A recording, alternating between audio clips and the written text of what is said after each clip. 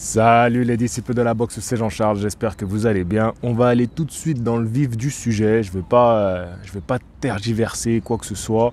La news, c'est que Cédric Doumbé veut faire un combat de boxe anglaise. Et donc, contre qui pourrait-il combattre? Vous avez vu le titre? Mais je vais revenir un petit peu sur euh, comment j'ai entendu parler de ça. Hier, je sors mes vidéos tranquillement, chaque jour je sors une vidéo, je suis sur un challenge d'une vidéo par jour jusqu'au 23 décembre, ok. Et je vois un commentaire qui me dit, je sais pas si c'est sur ma chaîne principale ou sur les podcasts, euh, oui, euh, t'as entendu l'info euh, Doumbé versus Kevin Lele Sadjo en anglaise d'après Pugila FR. Bon, je vois ça, ça, m'interroge, ça m'intrigue. Ma première réaction, c'est Kevin Lesadjo, il va fumer Cédric Doumbé. Voilà, que ce soit dit et je vous expliquerai pourquoi un peu plus tard, même si j'ai pas besoin euh, en vrai de, de, vraiment de beaucoup argumenter. Donc, je vois ce commentaire, ça m'intrigue. Je vois la, vidéo de Pugila FR qui est sortie. Qu'on soit clair, Pugila FR, je suis abonné, je regarde les vidéos, je like, je suis tout, j'aime bien. J'aime bien sa manière de présenter les actus du MMA et tout, j'aime bien. Je regarde la vidéo, donc, il explique que il a eu cette, cette rumeur qui court, qui augmente, et donc Cédric Doumbé voudrait affronter Kevin Lessejo. Ça, ça pourrait se faire, voilà, ça pourrait se faire. Potentiellement, ça peut se faire. Il donne un petit peu son avis sur la question, mais sans trop rentrer dans les détails. Très bien, très bien, vidéo, il prend son positionnement, très bien. Rien à redire sur la vidéo, allez la voir. De toute façon, je vous mettrai le lien en, en commentaire. Du coup, moi, j'ai envie de réagir à ça, évidemment. Et sort la vidéo de Cédric Doumbé hier aussi. Bon, bah très bien, je vais aller regarder ça. Est-ce qu'il en parle? Et il parle d'un combat en boxe anglaise. Il en parle. En fait, Cédric Doumbé, il s'est fait monter, euh, ça lui est monté à la tête euh, le, combat de euh, Fury. Voilà, clairement, ça lui a, ça l'a émoustillé. Il s'est dit, ah, il y a un truc à faire là, il y a un truc à faire. Là aussi, soyons très clairs. Clair, Cédric Doumbé, je suis un, client, je suis client. Voilà, de, son style, de, la personnalité, de la com. Je suis client. J'aime pas tout, je suis client. Il sort une vidéo, je regarde. Il va combattre, je suis, je, cherche où est-ce qu'on peut regarder le combat. Je suis supporter même de Cédric Doumbé. Mais quand Cédric Doumbé il dit des énormités en boxe anglaise, ah ça touche mon petit cœur de puriste. Ça, ça, oh, ça me fait grincer des dents. Et donc là, il annonce que voilà, pourquoi pas combat en boxe anglaise, et il, donne des petits noms quand même. Il donne des petits noms. Mais j'ai pas entendu Kevin Lessadjo. Peut-être que euh, j'ai zappé. Peut-être que j'étais trop fatigué, trop, j'avais trop de fumée dans la tête. Peut-être que j'ai zappé. Mais j'ai entendu le nom de Cédric Vitu. Voilà. Parce que c'est vrai que Cédric Vitu, parce qu'il l'a bien dit, Doumbé. Il a dit j'ai provoqué les boxeurs. À partir de là, tout le monde a dit, euh, tous les boxeurs français ont dit euh, vas-y, on, on est prêt à en découdre très bonne mentalité. Moi, j'aime bien. Les boxeurs français, il faut avoir cette, mentalité-là. Montrer que, bah vas-y, viens, viens Doumbé. Ce qui est normal. Et de toute façon, Doumbé, c'est ce qu'il cherchait. Il cherche à ce que, voilà, même moi, je fasse. Enfin, pas moi personnellement, mais que Pugila FR, euh, moi, à travers mon média et d'autres, on réagisse. Évidemment, c'est ce qu'il cherche. Mais essayons, de rester concret, factuel, tu vois, dans, dans, le monde réel, pas dans le monde imaginaire des, euh, des Saoudiens, on peut faire ce qu'on veut avec l'argent. Donc il dit Cédric Vitu. Cédric Vitu, euh, c'est intéressant, je trouve, sur le papier, parce que, voilà, boxeur retraité, ça, ça gênerait rien à sa carrière, au contraire, ce serait bien pour lui d'être de nouveau sur le devant de la scène. Vient de catégorie inférieure, c'était un vrai super Walter, on va dire, donc ça fait quand même, on va dire, euh, à peu près 7 kilos de différence avec le poids dans lequel euh, Doumbé euh, combat. Disons que ça peut peut-être un peu rééquilibrer la, ba la, balance. Doumbé est un peu plus puncher. Euh, Vitu était plus un technicien, tu vois, un pur technicien, vif, vif, de bras, tu vois, vraiment euh, belle boxe, styliste, euh, voilà. Donc, bah, ok, l'opposition est intéressante, mais est-ce que ça sera suffisamment vendeur? C'est la question que je vous pose. Est-ce que vous, aujourd'hui, ça vous intéresserait de voir Cédric Vitu contre, contre Cédric Doumbé? Voilà. Moi, oui, mais moi, je suis un moi, Vitu, ça me ferait plaisir pour lui parce que Vitu, c'est l'un des premiers boxeurs dont j'ai parlé sur cette chaîne. Quand, j'ouvre cette chaîne, la boxe en France, elle est morte, mais de chez morte, pire, qu'à l'heure actuelle, hein, c'est vous dire.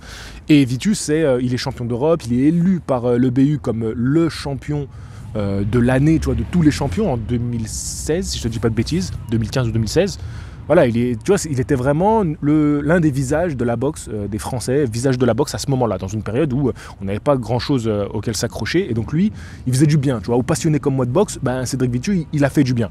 Donc l'affiche, pour moi, elle est intéressante. Mais ça n'engage que moi, tu vois. Et je sais que là, on parle de business, on parle de sous. On parle de Soussou. Maintenant, parlons de Kevin Lessadjo. Et après, moi, je proposerai l'adversaire, et euh, en a parlé, qui pour moi est le plus intéressant. Et après, on va donner une petite conclusion à cette vidéo, parce que c'est, on, fantasme sur ces combats-là, mais j'ai quand même un mot à dire sur tout ça, et je pense qu'à un moment donné, il faut le dire. Donc, Kevin Lessadjo, maintenant, combat hyper intéressant. Même catégorie, voilà, 77, 76 et quelques en boxe anglaise, les, poids moyens, 77 euh, en MMA. Parfait, voilà, c'est la même catégorie, il n'y a rien à dire. Même s'il se trouve un petit catchweight, on s'en fout, tu vois. Euh, super. Mais les gars, mais les gars, Kevin Lissajo, il va manger, il va froisser, euh, il va laver, il va rouler, il va, tout ce que tu veux. Cédric Doumbé, il faut arrêter les conneries maintenant. C'est pas parce que tu es une star, c'est pas parce que tu as, été un immense champion en kickboxing, pas parce qu'aujourd'hui en MMA, tu as un potentiel très intéressant pour aller au plus haut, qu'on va rigoler deux secondes avec toi. C'est deux disciplines totalement différentes. Doumbé, il est bon en anglaise. C'est l'un de ses points forts. Dans le kickboxing et dans le MMA. C'est tout. Point. Ça s'arrête là. Ça s'arrête là, les arguments. Kevin Lessadjo, ses points forts, c'est il a une endurance de malade. Il va l'emmener dans les rounds et les rounds, ça va être très dur. Il est solide. Il a un physique monstrueux. Il cogne dur. Voilà. Ça va être hyper compliqué euh, pour Cédric Doumbé de gérer ce mec-là. Et encore une fois, est-ce que c'est vendeur? Est-ce que les gens connaissent euh, Kevin Sadjo Alors pour Sadjo, ne serait-ce que juste s'il y a un, clash, tant mieux pour lui. Ça fait du buzz, ça fait parler de lui. Là, il y a un combat qui arrive. Ça, on dirait même que ça pue le, fake, toute cette histoire, parce que, euh, comme par hasard, juste avant le combat de Kevin Sadjo, il y a ce genre de rumeurs qui pop sur, euh, sur les réseaux. Tant mieux, tant mieux, c'est du bon buzz. Allez, c'est du buzz, on prend. Les gens vont regarder le combat de Kevin Sadjo. Pourquoi pas Cédric Doumbé qui monte sur le ring à la fin? Allez, vas-y, allez, on prend toute la mascarade et les blabla, ok, ok. Mais pour moi, ça ne sera pas suffisant pour que euh, ça donne envie de faire un genre un big fight comme on a eu, même si Tyson Fury contre Francis Ngannou, c'est incomparable. Mais l'idée, elle est là de Doumbé. L'idée, elle est là. C'est de faire ce genre d'événement. Il veut pas faire une carrière dans l'anglaise. Rien à foutre. Il veut faire de l'oseille dans l'anglaise. Et aujourd'hui, j'ai l'impression qu'il veut faire de l'oseille dans le MMA aussi. Et encore une fois, je suis, je suis son, son idée. Parce que euh, quand il avait fait voter, j'avais voté euh, PFL pour Doumbé, parce que c'était la logique de tout ce qu'il nous disait jusqu'ici. Donc j'ai voté par la logique. Donc voilà, quand je te dis je suis un Yankee, hein, je, suis, un supporter de Doumbé, c'est à ce point-là. J'ai voté parce que je sais que c'est ce qu'il voulait. Voilà, point barre. Mais quand on parle de boxe anglaise, je vais pas mâcher mes mots. Kevin Delesadjo va froisser euh, Doumbé en anglaise. Même s'ils font, je sais pas, un 6 rounds, un 8 rounds. Voilà, allez, vas-y, on fait un petit 8 rounds. Même si logiquement, pour l'affiche, tu fais un 10, tu fais un 10 rounds. Mais jamais de la vie faudrait vraiment que, que Doumbé. Mais vas-y, j'ai même pas envie de discuter sportivement de ce combat-là. Il n'y a pas, il n'y a pas, il a pas match. Après, il faut que je me détende parce qu'avec ce qui s'est passé avec Nganou, les gens vont me dire oui, euh, t'as vu ce qui s'est passé. D'ailleurs, il faudrait, qu'on en parle parce que ce que dit Doumbé sur euh, Nganou Fury, ça me, ça me chafouille un petit peu. Donc ça pourrait être un, sujet de vidéo. Maintenant, pour moi, pour moi, le seul truc intéressant, important, qui pourrait marcher, Doumbé, Jack Paul. Voilà, on sait que ce qu'a fait Doumbé lors, de son dernier événement, ça fait un retentissement mondial. Voilà. Jake Paul, il est en, perte d'audience. Là, son prochain combat, et moi je, moi je suis la carrière de Jake Paul. Il n'y a pas de souci, je suis. Son prochain combat, ça m'intéresse pas du tout. Pourtant, jusque-là, je suivais. Mais là, je suis même pas allé voir qui c'était. L'affiche, elle n'est pas intéressante. Donc en vrai, mettre Doumbé sur l'affiche, ça aurait été beaucoup plus intéressant. Il y a peut-être une logique pour Jake Paul de vas-y se relancer un petit peu. Je sais pas, j'ai pas vu son adversaire, se trouve il est hyper dangereux. Vas-y se relancer un petit peu. Pour moi, Jake Paul, euh, Doumbé, ça se tient. Ça, dans cette idée de match, vas-y, paillettes dans les yeux, les gens après ils vont râler sur les réseaux, parfait, parfait, voilà. Tu, tu, tu veux faire des, affiches qui font râler sur les réseaux, tu fais Doumbé contre Jake Paul, c'est idéal. Voilà, tous les opposent, c'est parfait. En plus, pour rééquilibrer un peu, parce que moi je donne un avantage à Doumbé, mais, puissance 1000, mais vraiment, même si Jack Paul il s'est amélioré en boxe, aujourd'hui il est sérieux dans la boxe, je donne un avantage à Doumbé puissance 1000, il n'y a pas de discussion. Ce qui rééquilibre un petit peu la balance, un petit peu, c'est la différence de poids. C'est-à-dire qu'il y aura à peu près, a à peu près 10 kg de différence euh, quand tu prends le, poids auquel il fait sa pesée. Doumbé, bien sûr, il y a la perte de poids, les régimes et tout, on sait qu'il reprend, pas de souci, je sais, je connais ça. Mais les catégories dans lesquelles ils évoluent, c'est un, 77 pour Doumbé. Et euh, Jack Paul, ses combats, il fait à peu près des catchweights à 86. Donc tu vois, on est à, on est à 10 kilos de différence. Donc vas-y, disons que le fait que Jack Paul s'entraîne à la boxe anglaise depuis des années maintenant et qu'il y ait cet avantage de poids, ça rééquilibre un chouïa la balance. Ça fait le truc un peu plus vendeur. Mais de toute façon, on s'en fout quelque part. Les gens s'en foutent de l'équilibre. Quand il y a eu Floyd Mayweather contre Logan Paul, déjà rien de prononcer ces deux noms dans la même phrase, ça me dégoûte. Voilà, ça me dégoûte. Si Doumbé il fracasse Jake Paul, ça va, moi ça me va, ça me va, il y a pas de problème. Vous savez, euh, moi je me fais descendre après Fury Nganou, mais moi je suis premier anti-Fury. Sur Instagram, je mettais fuck Fury à chaque publication avant le combat. C'est pour vous dire que mon positionnement, il était clair. Mais quand je vous parle du combat, je me dois d'être objectif sur le combat. C'est tout, point barre. Il n'y a pas un débat là-dessus. Je vous parle pas de qui vous êtes supporter. Que Doumbé il torche Jack Paul, je serais content. Maintenant, faut arrêter. Maintenant, revenons au sujet principal. Sadjo, Doumbé, gars, laissons les combattants performer dans leur discipline. Kevin Lessadjo, il est champion d'Europe, il a, il a, détenu un titre intercontinental et il est à, la porte de, son grand combat, de son grand moment. Tu vois, il va rentrer prochainement, à mon avis, dans le top 15, top 10. Il, est tout proche. Si on veut faire un big combat en France où que le public soit présent, qui paye, qu'on fasse Sadjo contre Mbili. Voilà, si vous voulez deux Français qui s'affrontent et tout, qu'on fasse ça, qu'on mette l'argent, que les promoteurs, on les pousse à faire ce genre d'affiche sportivement intéressante avec deux noms et le public doit répondre présent à ça. Pas à Doumbé, Sadjo. Stop, arrêtons les conneries. Doumbé, Doumbé. À c'est bon, là, tes blagues, elles commencent à être toujours les mêmes dans, dans tes vidéos. On a compris, toujours les mêmes blagues.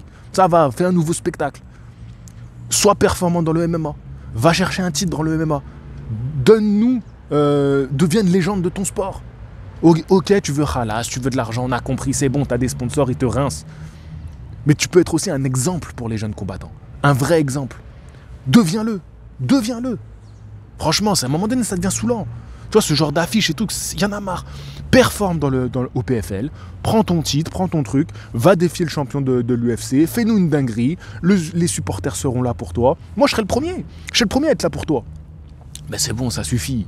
Ça suffit tout le temps, c'est bon, des blagues, du trollage. On sait plus du coup ce qui est sérieux, ce qui est troll, quand il parle, euh, on est perdu. Donc, oui, j'en ai un peu ras-le-bol, voilà, je vous le dis, j'en ai un petit peu ras-le-bol de ça. Si Dunbe doit faire un combat en anglaise, qui prenne Jack Paul, voilà qui prennent Jack Paul, c'est intéressant, ça fait, vendeur. Ou prends euh, Dylan Thierry, voilà, mets une correction à Dylan Thierry, je pense que tout le monde sera content, et basta. Laisse Kevin Lessadjo tranquille, laisse, laisse, laisse mon gars, il est en train de grimper, il est en train de tout péter, c'est un de nos, nos meilleurs euh, potentiels aujourd'hui, laisse mon gars, tu vois. Il va se prendre des vagues d'insultes à, cause de toi, le public va se retourner contre lui, c'est bon, c'est bon, la, la boxe on a déjà assez pris dans la gueule. Oh c'est bon là, on en a marre. Laissez-nous tranquille en anglaise. Là, c'est bon, laissez-nous faire notre vie. On est déjà, voilà, on, boite déjà bien comme il faut après Furin Ganou. Laissez-nous nous refaire une santé. Tranquille. On peut supporter les combattants de MMA, on peut supporter les boxeurs. Voilà, c'est tout. L'un n'empêche pas l'autre. On n'est pas obligé de se tirer dessus, euh, voilà. Bref, tout ça pour dire que si jamais le combat se fait, Kevin Lessadjo va éteindre Doumbé. Point barre. Bon, je vous laisse réagir à ce que j'ai dit. Euh, j'aimerais bien faire une, vidéo euh, aussi réaction à ce qu'il a dit sur le combat euh, Furin Ganou. Je sais pas, je vais voir par rapport à cette vidéo là. Cette vidéo n'était pas du tout prévue. on va voir comment sont les réactions par rapport à ça et peut-être que je ferai une petite réaction par rapport à ce qu'il a dit parce qu'il y a quand même quelque chose qui me dérange un peu dans comment la tournure qu'il a prise dans sa vidéo et comme il a beaucoup d'influence aujourd'hui, Cédric Doumbé il a énormément d'influence, c'est pour ça que je l'invite à être un exemple pour les combattants, mais aussi pour les jeunes qui suivent les sports de combat, à être plus un exemple qu'un un, un rigolo de service, même si je sais, t'aimes bien la comédie et tout, il n'y a pas de souci. Mais aujourd'hui, tu peux être un vrai exemple en tant que combattant. Et tu l'es déjà quelque part. Donc, euh, tu dis souvent que tu préfères être comparé à Mohamed Ali qu'à Conor McGregor. Alors vas-y, vas-y, je te défie. Deviens un Mohamed Ali. Et tu sais ce que ça implique de devenir un Mohamed Ali. Sur ce, je vous dis à la prochaine. Fighting